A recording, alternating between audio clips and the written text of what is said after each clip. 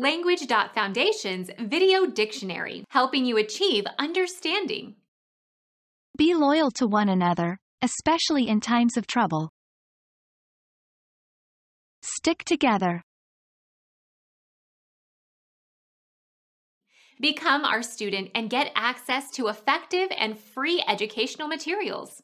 Subscribe to our channel to become a part of our growing community and to learn English effectively.